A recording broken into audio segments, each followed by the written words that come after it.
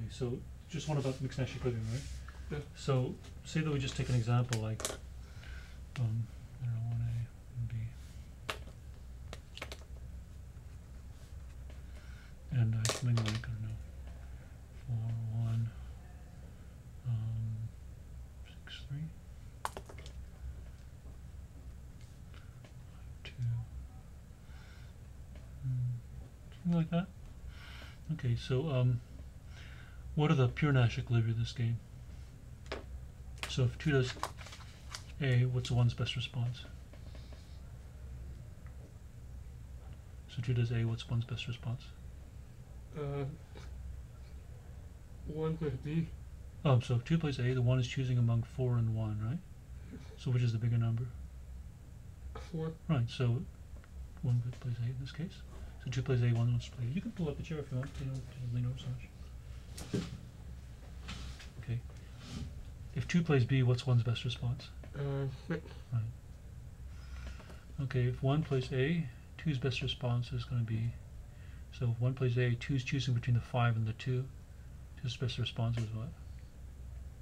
Five. Yeah. If one plays B, two's best response is. Four. Right. Okay, so the pure Nash equilibria are going to be what? It's going to be. what One are A, two A, Uh-huh. and two E, one, one B, two E. Yeah, very good. Okay.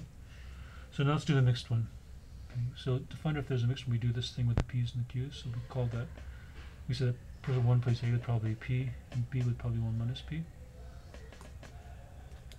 And 2 plays A would probably Q, P with probably 1 minus Q. Okay.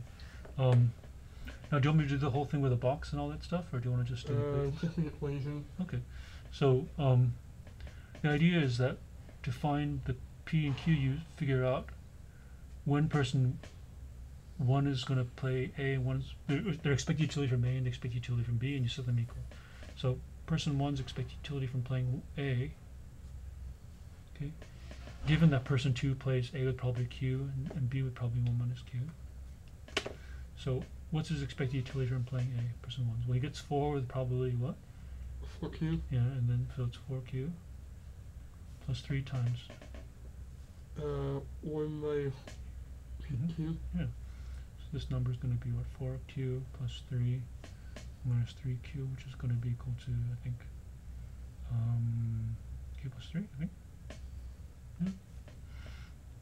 That's right. Here, slowly acting into the actual algebraic equation, right? Sorry. You're slowly acting into actual algebraic equation. Right, right. Yeah, it- this is just algebra code here. Yeah, exactly. Okay, so let's do person one's expected utility from playing B. So what's that going to be? So one's if he one plays B and then two plays A with probably Q and B with probably be six Q times Uh-huh. four times hmm one by Q. Okay, no. So he gets what? What are person one's numbers here? If he plays B, then one's getting payoffs what? One and six. Yes. Yeah. So it's one times. Gets one with probability Q. Yes. Or Q. Plus what? Uh, six Six times. one by P. Very well. One minus Q, right? Oh, one Q. Yeah. So he's getting playing one, and he gets he gets one with probably Q, and six with probably one minus Q. This number's going to be Q plus six minus six Q. Right, just Q. No, six minus what? Five Q. So to find my switchover probability, I set these equal. I have Q plus three equals six minus five Q, and I get six Q equals three, and therefore Q is going to be what? Six. You know, one half. Right, very good. So my Q up here is going to be half. And the red is only for uh, uh, player, the first player, Mhm. correct? Yeah, so what I'm doing is I'm solving for the switchover probability for Q. Yeah, and then I found Q is a half, and therefore 1 minus Q is 1 half. So I'm so, so I'm getting these numbers up here. Okay, is that right? Yeah. Although if uh, Q is one half, then Mhm. one minus Q should equal one minus one half or Mm-hmm. negative Yeah, so one if Q is 1 half, 1 minus 1 half is going to be what? Just 1 minus 1 half. right? So if I put this over the denominator, it sounds like this. Right? Is that clear? Mm. Yeah, so this is gonna be one half. Uh, no one half. Is that okay? Okay. Alright. Let's do now for P. For to solve for P I look at person two's expected utility from playing two A. What's that gonna be? Well he gets five with probability P and one with probably one minus P. Yeah. Yeah, so um um let's see, so his expected utility is gonna be what? Five, five B.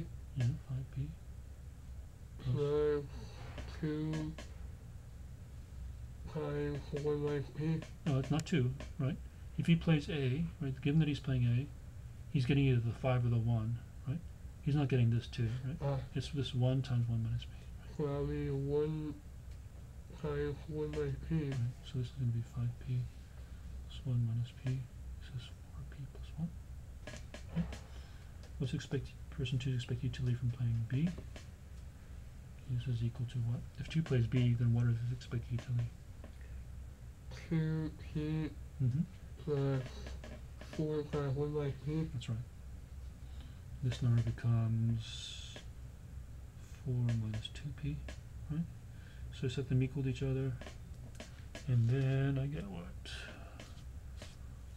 Four p plus one equals four minus two p. It's gonna work. Let's see. It's gonna be six p equals three, right? Well, it's gonna be half two, so p equals one half. So we both have a fifty fifty. Yeah, just happen to look that over. Yeah, yeah, okay, that works. So p is one half, then one minus p is gonna be what? So one half. Yeah, very good. Okay, so down here, so this is gonna be one half, half here.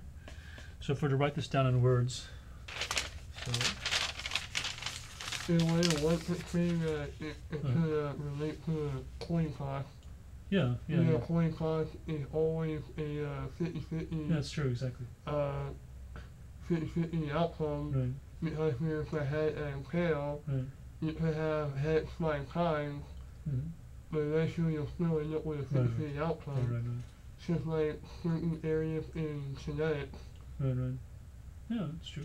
Yeah, this, I mean, the randomness, idea is like, you know, the reason why people think about mixed Nash equilibrium is because there are many situations where it seems like people actually do randomize, you know, like the penalty kick thing, or you, know, you there's certain strategic, strategic situations where you don't want to be always doing the same thing, right? You want to randomize. So these are those kind of situations. So that's kind of what, like in poker, it's a similar kind of thing. Like you um you don't you don't want to always be too conservative or too aggressive, right? So if people if you bid really aggressively, then people will know you always bid aggressively, hence when you bid aggressively, they'll just fold, right? But if you're too conservative, then how does this work? Yeah, if you're too conservative, then um, you never want, then you'll never be able to be in the big bets, right? So you kind of, in other words, if you're too conservative, you'll always fold out easily, and you'll never be able to succeed with a bluff, right? So you want your bluffs to work sometimes, but not all the time. Right? Football's the same way. Yeah, Especially college football. yeah, yeah. uh, you don't want to play to, uh, you don't want to go off the side too, too, uh, Right. too often. Yeah. Otherwise, Yeah, your, exactly. Right, your right. opponents will focus more on the side. Yeah, exactly, exactly. That's why you want to vary to go on left side, right side, middle, or even uh, fake Right, right, right. certain maneuvers. exactly. Okay. So anyway, so how do I do this? If I write this as as a, um, I saw found that p equals a half, so q is a half. So my Nash equilibrium, my next mixed Nash equilibrium is going to be, um, so one plays one a with probability one half, plays one b with probability one half, and then so that's my p's here. Two plays two A with probability one half, two B with probability one half. That's from these cues here. And that's that's my mixed equilibrium. Okay? Is there a, a uh, basic strategy of, of looking at the data?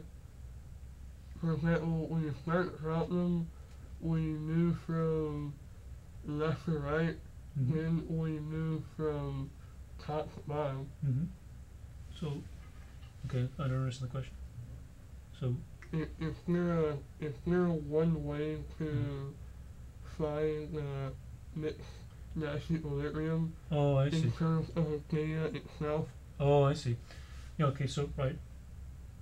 Um, there's no faster way of doing it than what we did now, okay, in the sense that there's no like one way to sort of see it quickly.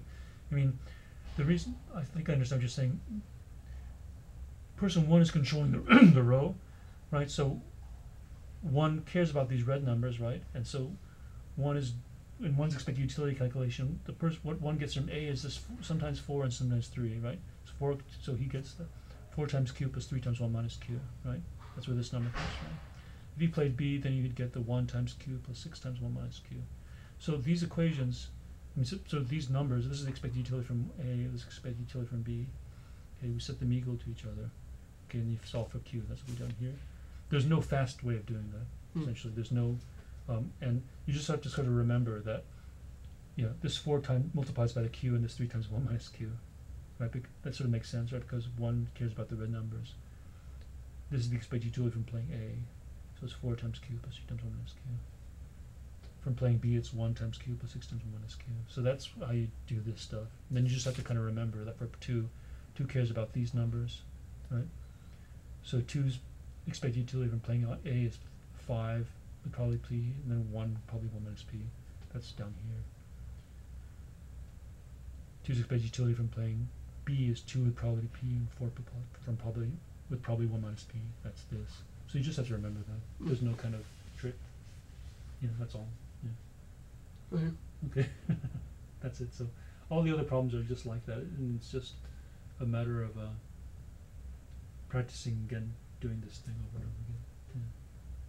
Yeah. I mean, there isn't, there aren't going to be like we talked about in class. There aren't any more sort of complicated. There are like you might have like a if you had a three by three kind of game, then the mixed Nash equilibrium is much more complicated. So you would do a much more complicated kind of thing. So we we more or less this class stick to this two by two thing. So Okay. yeah. Mm. Okay.